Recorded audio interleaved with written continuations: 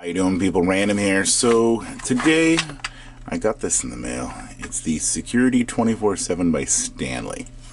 Um, it's got a 50 millimeter wide body, uh, one inch shackle hole.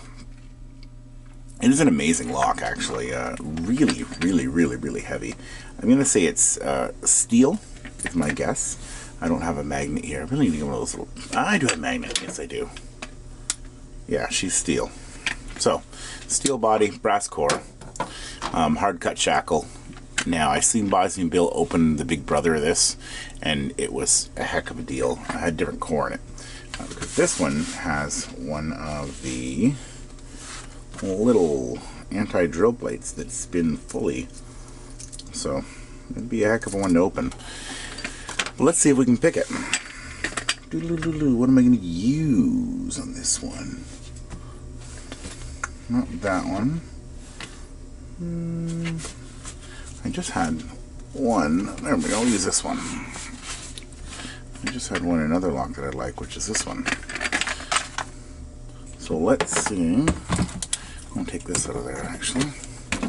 It's a Texas Gym what I've been working on is pin and pin. It's quite the uh, uh, pain in the butt. but I'll get it. We will get it.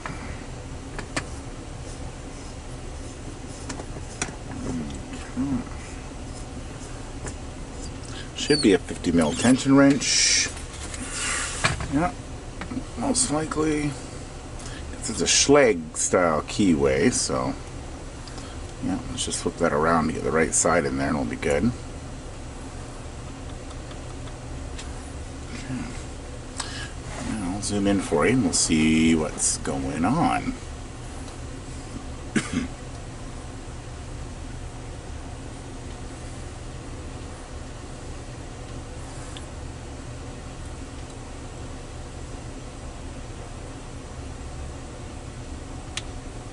Little click at a 2.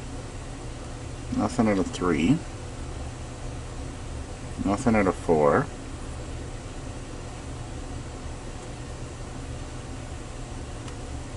Little click at a 5.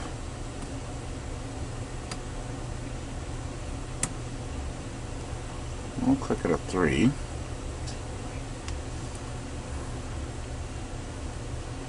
Nothing at a 1. Two's already set. try three again, but little false set when I hit three again. A little um counter rotation, but we'll give that a shot. Mm, I lost something on that one. I felt like something went weird.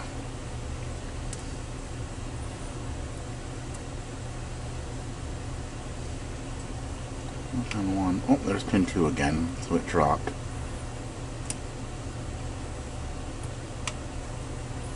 There's pin five.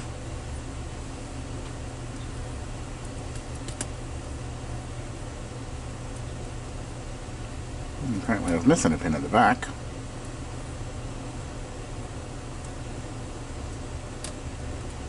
Another little, oh, we're open. I thought that was a full set. Cool.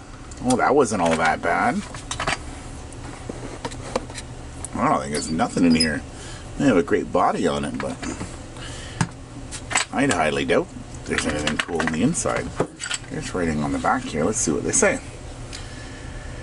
Okay, cut resistance shackle protects against sawing and cutting attacks. Uh, hardened steel uh, protects lock from attacks, which I gear like this is, yeah, it's heavy. Like there's definitely some crazy seal in there. Um, patented keyway cover, protects against drilling and attacks. Uh, six-pin rekeyable solid brass cylinder with anti-pick that resists anti-pick pin that resists picking attacks. So they say it's incredible. But you know, it could, just could have been the bitting on it too. Let's see if we can get these keys out because we'll need them out when we uh. Hmm. I'm gonna rekey it because now it's in the lock position. Spin return. That one will do for now, eh? let's see what's on the ends. Hmm. Oh, it's on the opposite side underneath the shackle hole. So let's see if we can find the right Allen key. May,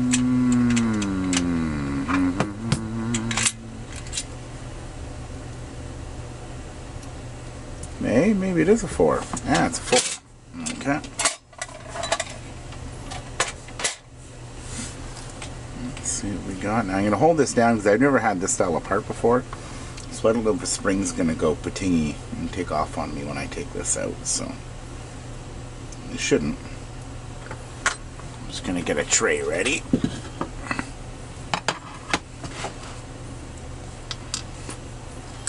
Nice and slow.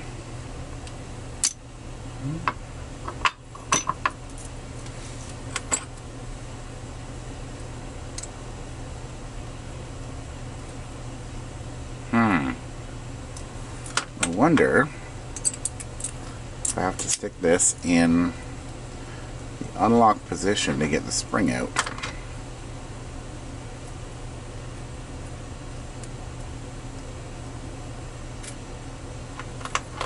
Okay. There is the world's freaking smallest Allen key down in there. Holy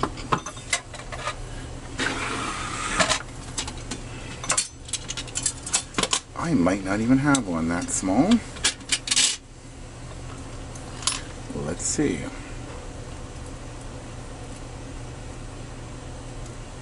And long too. That's hmm. well, that sucks ass.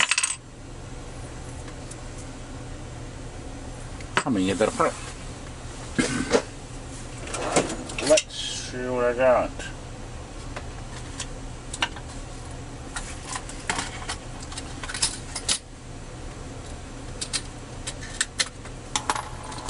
Oh wait, hold on. Might actually have the one.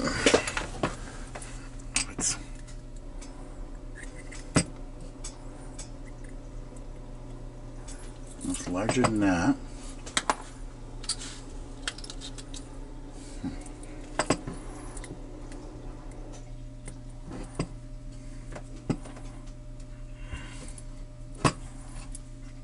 Oh my lord. They did not make this easy.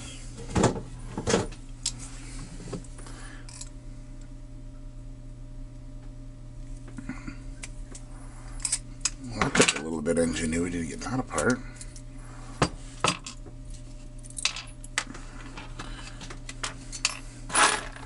Okay, we're getting there. It's gonna be the world's longest gutting. It took quicker to pick than it did to, to gut it. Get those out of the way so don't get any confusion. Clean work site is a happy work site, isn't that the deal? Look at that plate on the bottom of that. Yeah, that's that's beefy. I'm not messing around. This little ball bearing, it must have sat right on there, which must have just kept this plug in place. Okay. This looks like. Oh, that's interesting. What if it depends on. I'm gonna have to play around with that. Depends on how you place that. Whether it's key retaining or not. Or maybe it's just meant to slide inside of there. But either way, that's a pretty cool lock body. It's amazing that they actually got a KIK to fit inside there. So let's take it apart.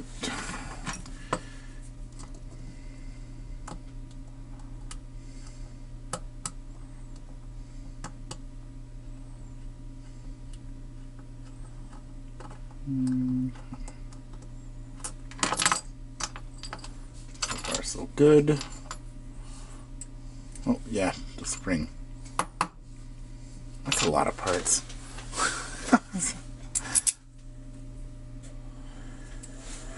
okay, now I need a follower. Should be this one.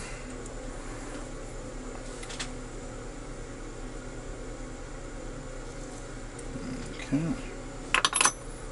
Let's see what we got inside of here. Don't see anything special on those pins. Mm, standard, standard, standard, standard, standard, standard.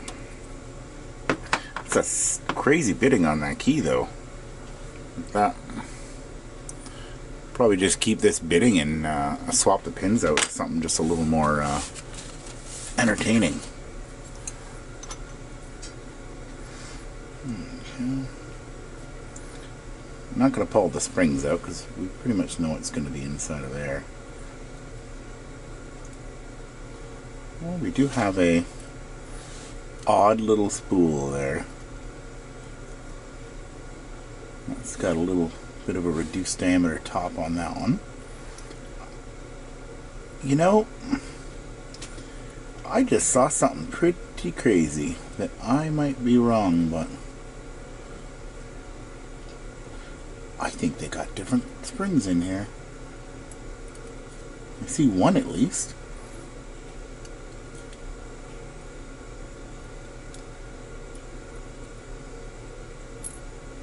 There we are. Okay, so nothing too special. I got one reduced diameter right there at the end, and then two really crappy spools. The bottom almost look like anti-drill, but I want to show you this.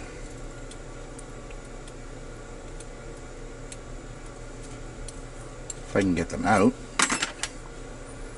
Okay. Pin 1 is a copper.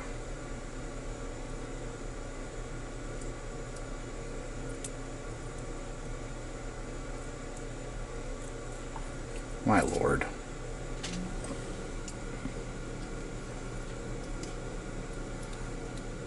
Okay. Pin 2 is a steel. You ever seen that? That's crazy. It's almost like they were going for spring tension difference because that is a stronger spring in a stock lock. Then we have copper, copper, copper, and copper. So yeah, that is the Stanley 24-7 security. Um, sorry for the super long gutting. Uh, I've never taken one of these apart before, and now I uh, now I know what it takes to get inside one of these. Um, now, and Bill, he got a lock off somebody. I think it was from Tri County Locksmiths or somebody. I, I could be wrong, but uh, he took the big brother of this and stuck a wicked cylinder in here, and I can see why he did it. This lock body is impressive. It is heavy. It is well built. Um, even though I like cutting things apart, I'm not going to do it on this one unless I get another one that's a little beat up. But uh, yeah, very cool. Uh, definitely upgradable. As you say, like look at that. Like there's really the only impressive on there is uh, pin six has this weak, weak, weak, weak spool in it. Like it's just a tiny little line, and then there is a small reduced diameter on pin 2 which is really hard to see and the same weak spool in pin 1 so that's not very epic uh, and a little bit of different spring tension. You could probably rake this hey come back here. You could probably rake this with very little effort um, before we go since I already got you taking this much time I wonder if these bottom pins are no they almost look steel but I have a feeling they're probably nickel plated brass. Yeah, they're probably just nickel plated. Yeah, either way. Cool. Take care, everybody. Um, thanks for uh, coming out and watching my stuff. And uh, support your local locksmith. It's a little update. I was just ready to put this back together and I noticed something crazy. Um, another cool feature on this lock, if it just had better pins. I'll see if I can focus on that. Might not. Come on, you bum. There we are. Counter milling on every single chamber. And that is like, that's a sheer click. Uh, it's, it's pretty cool. There's actually a ledge. And I'm surprised that they did it. They did it very cheesy. It's not like we do it. Uh, when I counter mill, I get right in there and make a big groove on the inside. but theirs is one diameter here and it's just a couple thou larger at the top and it goes all the way around so uh, it would definitely get uh, hung up if you had some sharper pins but yeah so thought I'd just uh, show you that so take care over and out